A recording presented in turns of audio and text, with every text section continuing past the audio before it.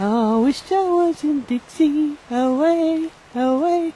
Just keeping bears away.